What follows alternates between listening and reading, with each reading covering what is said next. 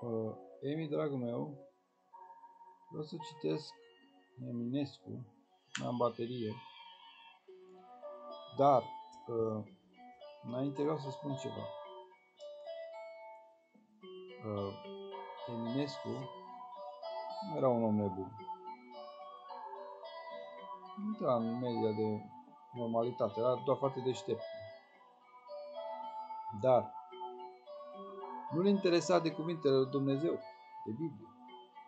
Nu le ținea. Adică nu mă refer că cu viața, cu gândurile. Poate că le știa, probabil că le știa, dar le ignora pentru el. Și atunci el zice ceilalți, bă, dacă nu ții Biblia, ești un nebun. Și a avut dreptate la chestia asta. După aia ce au făcut, a fost cu totul și totul altceva. Cu club, cu Mercur, ce au făcut dar eu zis, vezi, nu ai înțelepciune dacă nu crezi în Pentru că Dumnezeu zice așa, uh, pentru că v-au părăsit cuvântul meu și au umblat după lucruri de nimic, au devenit ei înșiși de nimic. Și mai zice, se vor sătura cu fapturile lor și vor uh, ocroti cuvintele lor sau vorbă, gândurile lor. Faptul. Ideea e că totul e rău, nu? Dacă n-ai, n-ai ce, ce poți să fii tu, oricât de deștept. Înțelegi? De, de exemplu, eu am cunoscut o fată, când mai dădeam lecții de engleză, știi? La biserică. Și ea era prietena unei elevi de-a mea. Și am zis, domnișoară, nu vrei să vezi niște englezi? Eu nu luam bani. Dar la biserică. Deci eu n-am nevoie să învăț că sunt inteligentă. E adevărat. Era inteligent. De a și zis. Dar cu atitudinea asta, domnule, eu sunt inteligent, n-am, voie, n-am nevoie să învăț. Asta e, cum să zic, uh, aiurea. I-am dat o carte și mi-au luat-o, nu mai dat-o înapoi. Atât. Asta a fost tot. Uh, pe când fata aia, prietena ei, aia stătea să învețe, să ai engleză, să știu și eu folosit. Înțelegi? Nu, eu dacă mă duceam la Decebal și bă, nu vreau să învăț nici la engleză, istorie, literatură română, franceză, germană și latină și universală, pe ce mai ești? Aveam un plus. Înțelegi, mă, cu atitudinea asta, adică și ce zice Dumnezeu? Erau pocăite amândouă. Zice Dumnezeu, domnule, Smerește-te și te va anunța Dumnezeu. Păi dacă te smerești, stai să înveți, să citești, să vezi. Nu zici, Doamne, eu sunt inteligent. O, serios, n-ai scris și de atunci. O zi de ea. În general. O să ne reîntoarcem la Eminescu.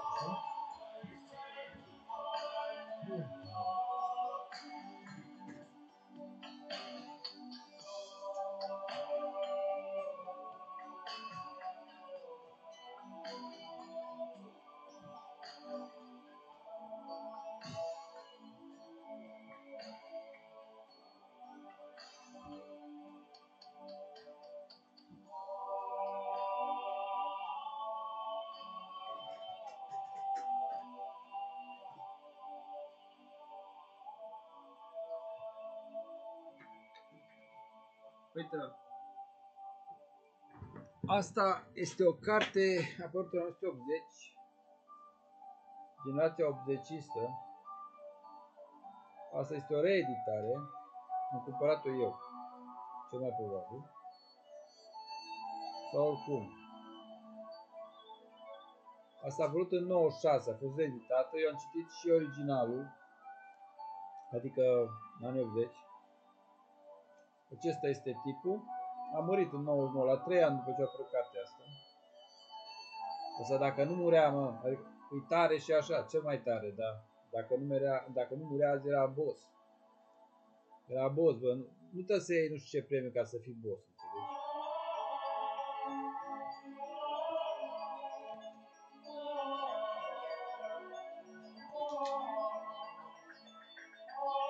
Dar cred că de atunci a fost ca să moară. Avea cancer, știi? El stătea noaptea 9, anii 90, când nu avea nimeni calculator, stătea și scria la calculator. Înțelegi?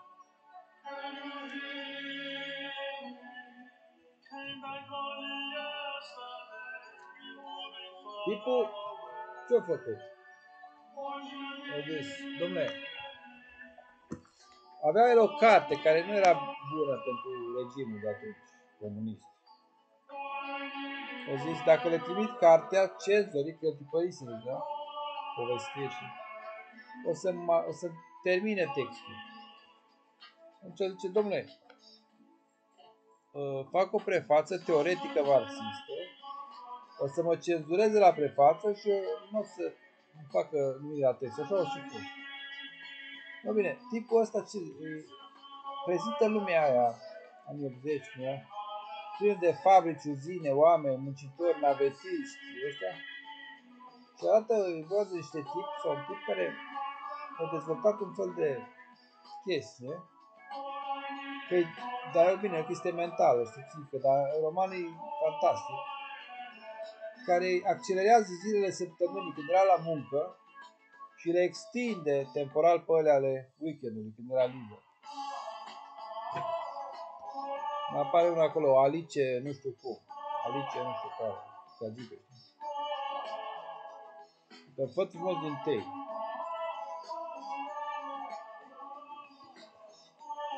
Am cumpărat una din asta cartonată, dar am dat-o.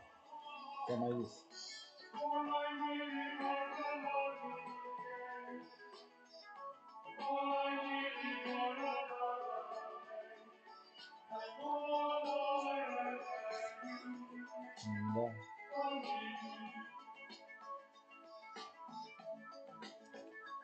Bine. Și asta este Eminescu.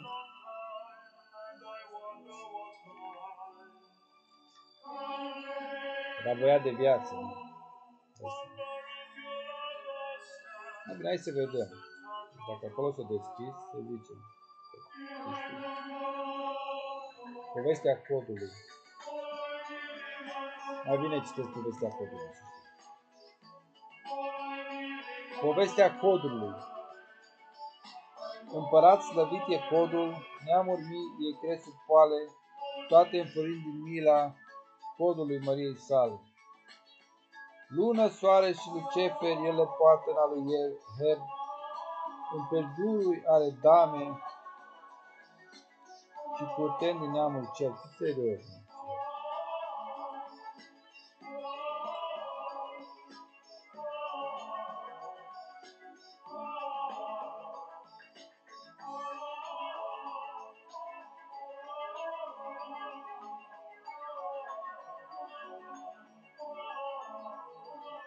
Uite aici. Ce ți-am zis de monarh, ia uite. Melancolie. Părea că printre noul s-a fost deschis o poartă prin care trece albă regina nopții moarte. O dormi, o dormi în pace printre făclii o mie și în mormânt albastru și în pânze argintie, în mausoleul mândru al cerurilor arc, tu adorat și dulce al nopților monarh, Boiată, bogată în întinderi stă lumea în pomoroacă ce sate și câmpie cu un luciu vel în dacă.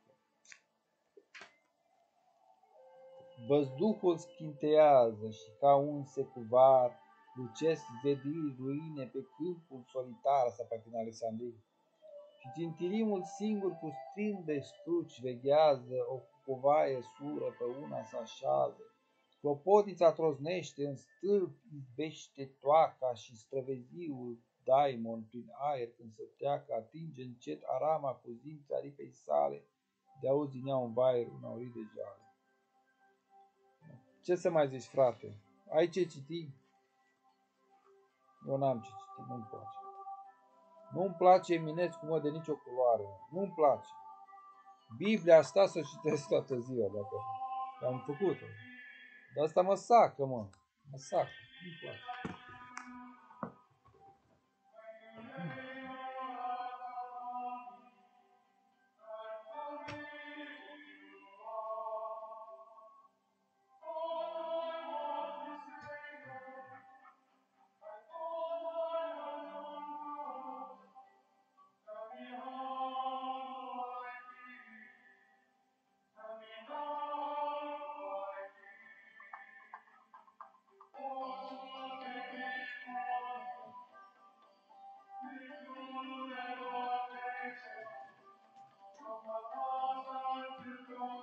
Uite, asta, nici asta nu știu ce grozav, dar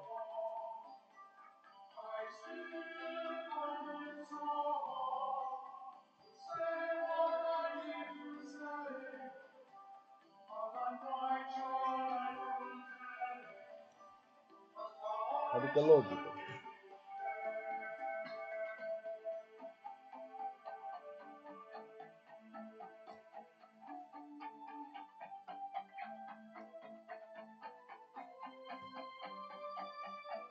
Ce să zic, mă? Dacă vrei să însemni ceva, asta, asta e ideea mea, nu? Dacă vrei să însemni ceva în cărți, trebuie să ai o rădăcină. Bine. Dacă nu, înțelegi?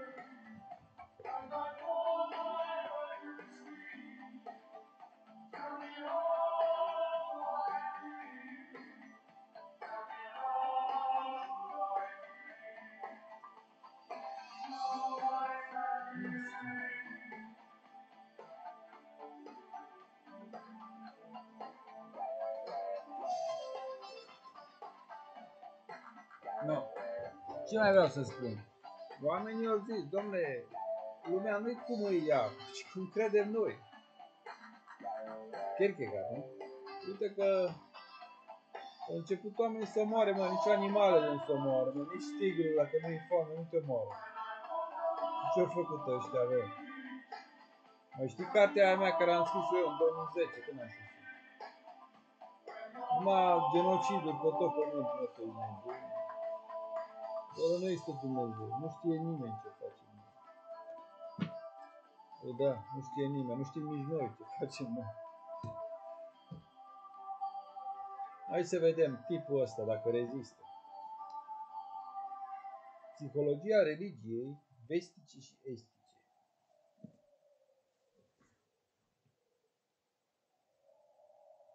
Uite ce zice aici. Poziția lui Jung în problema religiei. Problema religiei. Problema. Nu chestiunea, problema. Păi da, problema față de sex. Pentru sex nu e nicio problemă, pentru religie e problemă. Cum să crezi tu în Dumnezeu? Una dintre cele mai interesante și mai nuanțate adoptate vreodată de un psiholog a întrezit numeroase discuții și controverse. Teologii l-au acuzat de psihologist, iar psihologii și psianaliștii de misticism înseamnă că și psihologic, vai de cap. Asemenea lui Freud, Jung consideră religia ca pe rezultatul proiecției în cer a psihismului conștient. Pe deosebire de Freud, care deriva în religia din inconștientul personal complexul patern și o considera un fenomen trecător, o iluzie pe care știința o a risipit, Jung atribuie religiei perenitatea pe care, pe care o au drept arhetipurile inconștientului colectiv, în care colectiv, din care derivă, adică eternitate. Funcția religiei este nu numai perenă, ci și vitală, în măsura în care asigură într-o formă simbolică legătura dintre inconștientul colectiv și conștiință. Dacă astfel de afirmații pot fi catalogate de holistice, va decide scorul prin lectură proprie. După cum aceeași lectură va decide dacă opțiunea de unde aș limita ce la faptele accesibile teologiei, Simbolul și tendințe religioase poate fi calificată de reducționist psihologic. Bă, mă, ce e asta?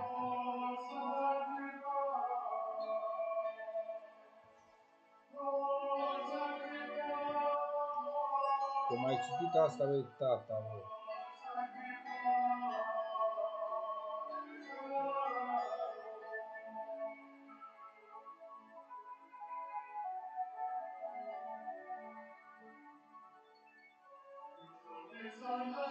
Uite, aici din nou, tata și-a bătut joc. Uite, totul este Dumnezeu. Eu nu cred asta.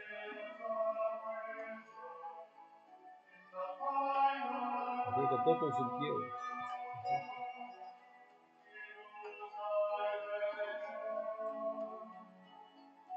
Trece tata, concluzii. Deci lumea ar fi sărăcită fără Dumnezeu.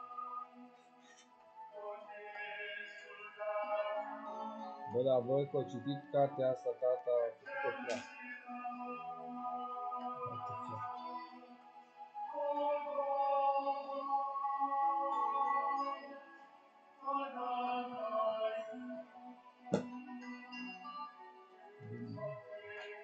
Uite, cartea asta o am de la tine. Dar nici asta n-am putut citi.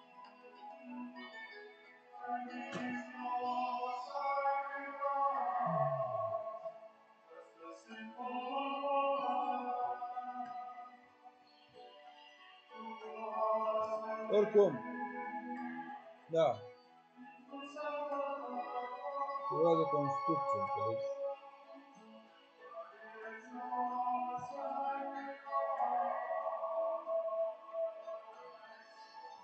Te interesează și ce zice Jung sau altul? Dar nu doar atât. Te interesează și ce zice Dumnezeu. Doar Biblia.